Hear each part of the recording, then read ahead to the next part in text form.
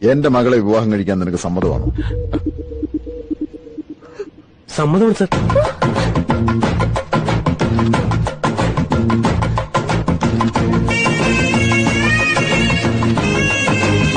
அதான் சாரி சொன்னேன்ல சாரி சொன்னா எனக்கு கொம்பு முளைக்காதா கொம்பா ஒரு வாட்டி முட்டிட்டு விட்டா கொம்பு முளைக்கும் தெரியும்ல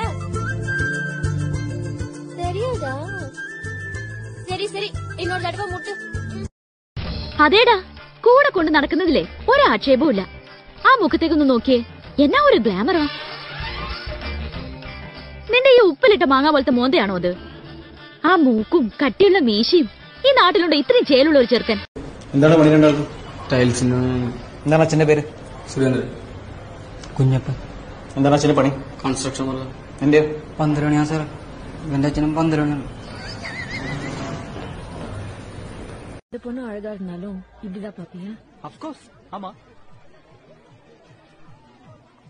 பட் அழகா இருக்கிற பொண்ணுங்களா நீ ஆயிட முடியாதுல்ல ജോലി ചെയ്താൽ മതി ഒരുമാതിരി ബൂർഷ ടോണിൽ എന്നോട് സംസാരിക്കരുത് സംസാരിച്ചാണ് എന്ത് ചെയ്യൂ I'll chop your head off if this come back.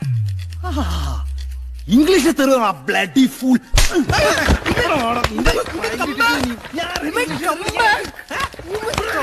ബാക്കിലോട്ട് വരാൻ ഞാൻ ഡ്രൈവിംഗ് പഠിച്ചിട്ടില്ല സത്യം പറഞ്ഞ.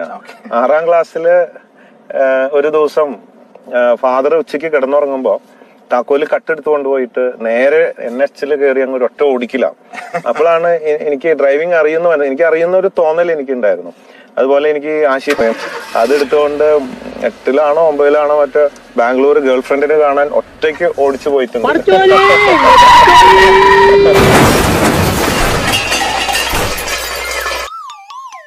അങ്ങനത്തെ ത്രില്ലുകളൊക്കെ ചെയ്യുന്നത്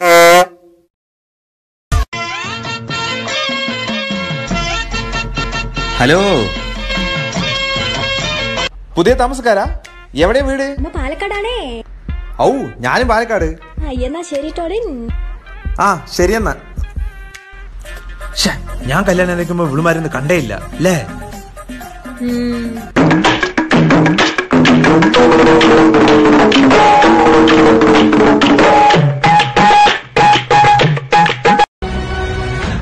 எப்படி பார்த்தாலும் நீ நானும் ஒண்ணுதானே சார் ஒரு கதையில இவன் நல்லவன் இவன் கெட்டவன் சாய்ஸ் கொடுத்தா சூஸ் பண்றது ஈஸி இந்த கதையில ரெண்டு பேருமே கெட்டவனுங்க. என்ன பண்ண?